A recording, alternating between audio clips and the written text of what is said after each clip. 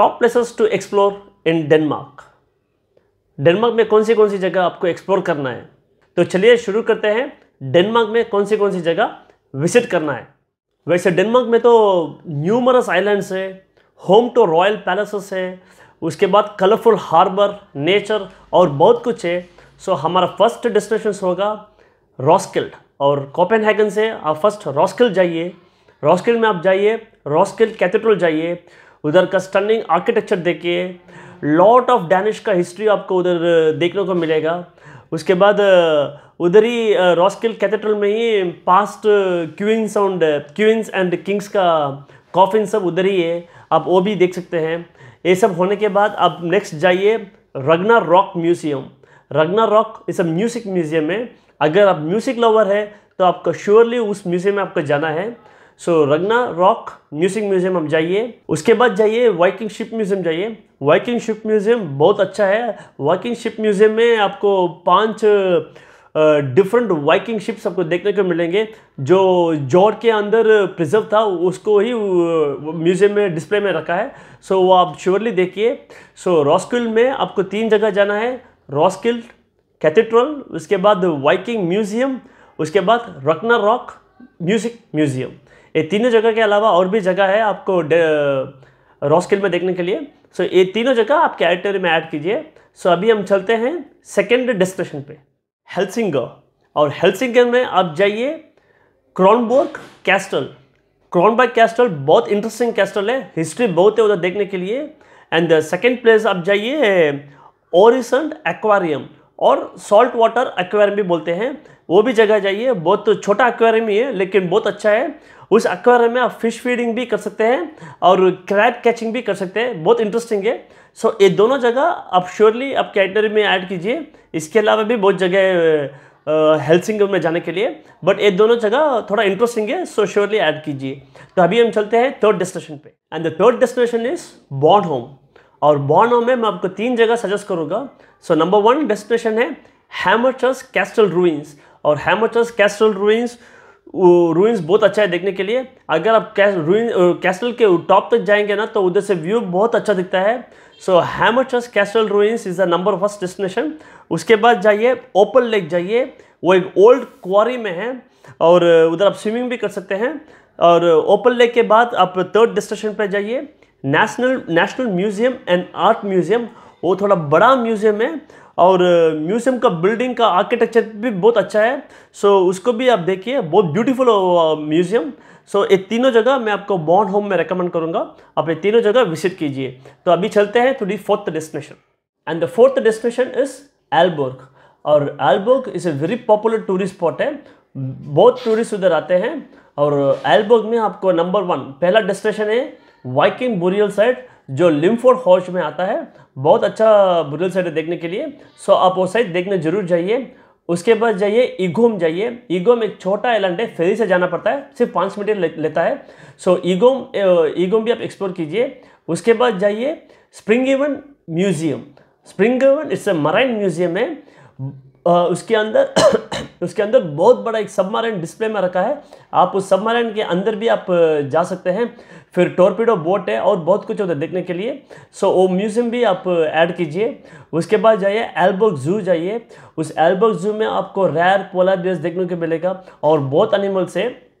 उसके बाद आप एक्टिविटीज़ भी उधर कर सकते हैं लाइक कैकिंग है सेलिंग है सेलिंग ऑन द आइलैंड है जोड़ के अंदर होता है। सो वो सब अच्छा है देखने के लिए। सो एल्बो एल्बोर्ग भी आपके आइटनरी में ऐड कीजिए। सो अभी हम चलते हैं फिफ्थ डेस्टिनेशन पे। फिफ्थ डेस्टिनेशन इज़ एरोस और एरस में आप जाइए फ़र्स्ट डेन कैम्बले बाय और Den Gamle By is an open air town museum है बहुत अच्छा म्यूज़ियम है वो. बहुत पॉपुलर टूरिस्ट स्पॉट है. बहुत लोग आते हैं उधर देखने के लिए. आप उधर फुल डे आप स्पेंड कर सकते हैं. So number first is Den Gamle By उसके बाद जाइए एरोस बोटानिकल गार्डन उधर ही आता है. सो आप बोटानिकल गार्डन भी जाइए.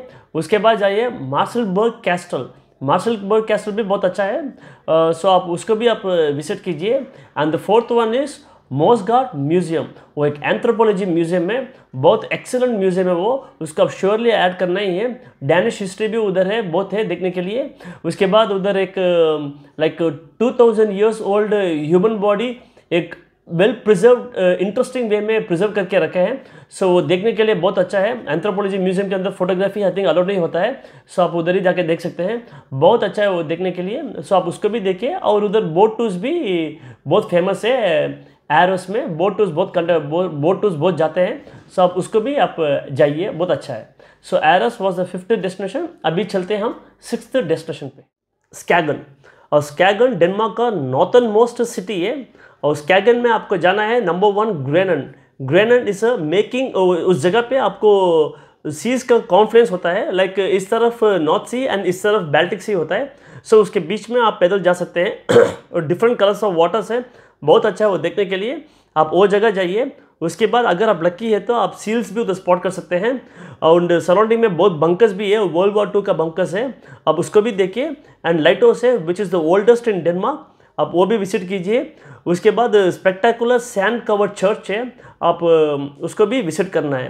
ये सब होने के बाद आप जाइए राजबर्ग माइल और Raabjerg Mile Denmark's biggest shifting sand dune है। बहुत अच्छा है वो देखने के लिए। वो हाइक आप हाइक कीजिए टॉप तक हाइक कीजिए, उधर से आपको व्यू बहुत अच्छा दिखता है। वो होने के बाद, आप जाइए स्कैंगन म्यूज़ियम जाइए। सो स्कैंगन में तीन जगह है आप वो तीनों जगह विज़िट कीजिए। अभी हम चलते हैं सेवन्थ डेस्टिनेशन पे। सेवन्थ डेस्टिनेशन है लीगल एंड बिलन रिसोर्ट वो एक बहुत बड़ा अम्यूजमेंट पार्क है। उस पार्क में हर, सबके लिए लाइक छोटे से बड़े तक सबके लिए उधर एक्टिविटीज़ बहुत है। सो so, आप अगर लीगल एंड बिलन रिसोर्ट जा रहे हैं तो आप ऑनलाइन से एडवांस में टिकट ले लीजिए।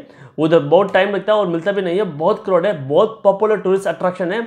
बहुत लोग आते हैं डेनमार्क से उस जगह को उस अम्यूज़मेंट पार्क में एक्सप्लोर करने के लिए। उसके बाद राइड सब एजेस के लिए भी है और बहुत अच्छा है। So Legoland Billund resort आप श्योरली जाइए। अगर आपको एन रूट पे आता है आप आगे बढ़ते रहिए। सो सेवन्थ डेस्टिनेशन हो गया। अभी हम चलते हैं एट्थ डेस्टिनेशन पे।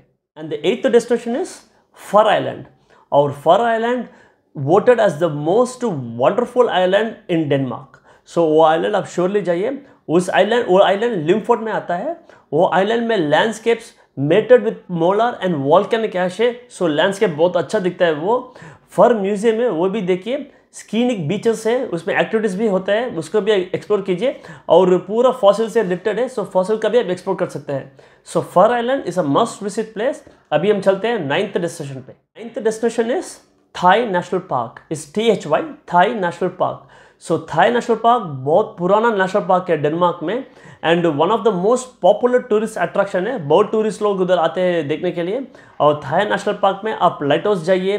ह्यूज बीचेस है लेक्स जाइए फिशिंग ट्रिप कीजिए उसके बाद म्यूज़ियम भी है best to see wild nature बहुत अच्छा है वो देखने के लिए एंड बीचेस uh, बहुत बड़े बड़े हैं स्मॉल विलेजेस बहुत है फिर आप सर्फिंग भी कर सकते हैं और बहुत सारे विंडी स्पोर्ट्स एक्टिविटीज़ भी है सो so, वो सब आप एक्सप्लोर कीजिए Thy national park is the ninth destination now let's go to tenth destination Faroe islands Faroe islands आप फेरी से या बाई एयर से जाना है सो so, वो आइलैंड्स आप डेनमार्क जा रहे हैं तो उस आइलैंड को श्योरली विज़िट कीजिए। उधर का नज़ारा तो अलग ही है। It's an iconic landscapes in Denmark so वो श्योरली आपके आइटनरी में ऐड कीजिए।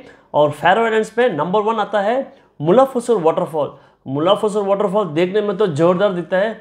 वो आप श्योरली उस जगह को आप एक्सप्लोर कीजिए। बहुत अच्छा जगह है वो देखने के लिए। सेकेंड डेस्टिनेशन है ट्रैनिपा और ट्रैनिपा में आप हाइक करके टॉप तक जाइए, उस, उससे आप व्यू देखिए, बहुत अच्छा दिखता है वो। So second place was Traelanipa and the third place is Drangar Drangarnir और ड्रैंगर नीर में आप, वो एक सी आर्च है, उस आर्च के अंदर अगर आप लकी है और वेदर अच्छा है तो उस सी आर्च के अंदर आप बोट के बोट में जाइए, बहुत अच्छा दिखता है वो। सो ड्रैगन नीर भी आप जाइए and the fourth one is Kallur lighthouse वो कलूर लाइट हाउस भी बहुत फ़ेमस है। उधर का सीनरी में ही जेम्स कुमार का जेम्स बॉन्ड का शूटिंग हुआ था no time to no die उस पिक्चर का शूटिंग उधर ही हुआ था। सो वो वो जगह भी आप जाइए। उसके बाद जाइए वेस्ट मामा सी क्लिप्स और सी क्लिफ में आप सेल भी कर सकते हैं। नीचे उतर के आप सेलिंग भी जा सकते हैं। अगर सेलिंग में आप जब टेन थाउजेंड्स ऑफ़ बर्ड्स ऊपर उड़ते हैं देखने के लिए बहुत नज़ारा बहुत अच्छा होता है। सो वेस्ट मामा सी क्लिफ भी आप जाइए, बहुत अच्छा है। सो फेरा वालेंस भी हो गया है। अभी मैंने आपको डेनमार्क से आपको पूरा लोकेशंस का जगह मैंने बोल दिया कहाँ कहाँ जाना है। तो अभी हम चलते हैं कोपेन में क्या क्या जगह देखना है। कोपनहेगन में भी बहुत जगह देखने के लिए, लेकिन मैं आपको 10 जगह ही रिकमेंड करूँगा। इसके अलावा भी बहुत जगह देखने के लिए। तो चलिए जल्दी से शुरू करते हैं। कोपनहेगन में कौन सी कौन सी जगह आपको देखना है। नंबर वन है Copenhagen zoo Copenhagen zoo one of the oldest zoo है पूरा यूरोप का। सो कोपनहेगन जू आप जाइए श्योरली जाइए। उधर आप एक्जॉटिक एनिमल्स बहुत देख सकते हैं। लाइक टर्की वल्चर्स है बैक्टीरियन कैमल्स है लाइन्स है, फिर ब्लैक कैप स्कूल मंकीज है, और भी बहुत है देखने के लिए, और बहुत बड़ा है। सो कोपेनहेगन जू आप श्योरली विज़िट कीजिए।